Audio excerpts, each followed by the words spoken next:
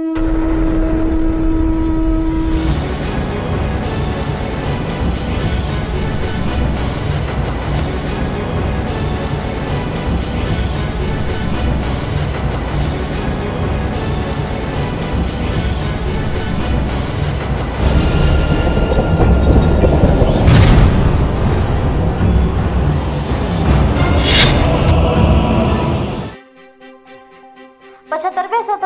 दिवस के अवसर पर धनबाद के रणधीर वर्मा स्टेडियम में जिला प्रशासन की ओर से मुख्य समारोह आयोजित किया गया, जहाँ जिला के उपायुक्त संदीप सिंह, वरीय पुलिस अधीक्षक संजीव कुमार समेत कई वरीय पदाधिकारी उपस्थित थे।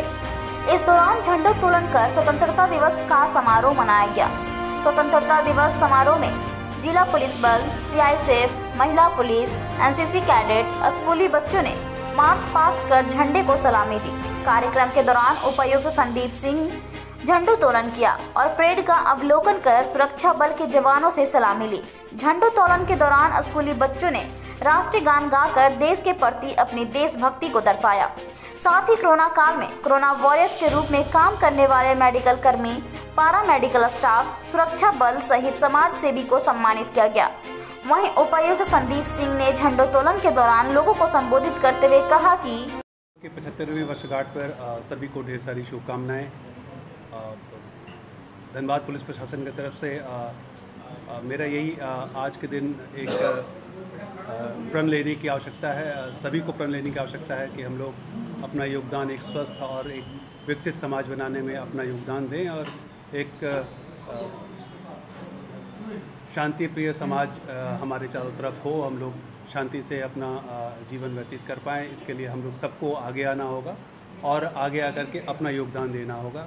एक राष्ट्र निर्माण का भी समय है। राष्ट्र हम लोग अपना जो भी योगदान दे सकते हैं, सब लोग अपना योगदान इस राष्ट्र निर्माण में एक एक स्वस्थ समाज बनाने में, एक एक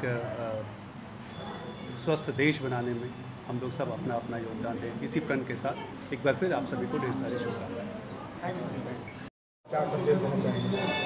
पचहत्तरवें स्वतंत्रता दिवस की सबसे पहले तो सभी धनबाद ज़िले वासियों को हार्दिक शुभकामनाएँ।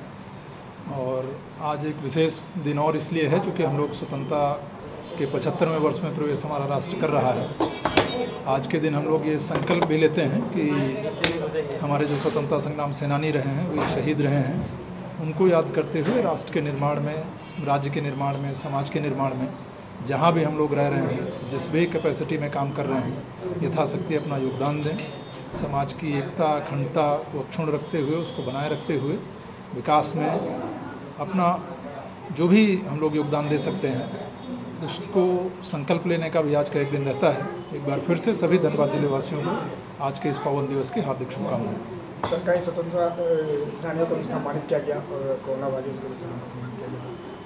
आज के अवसर पर हम लोग विशेष रूप से ऐसे कोरोना योद्धा जिन्होंने पिछले कुछ समय में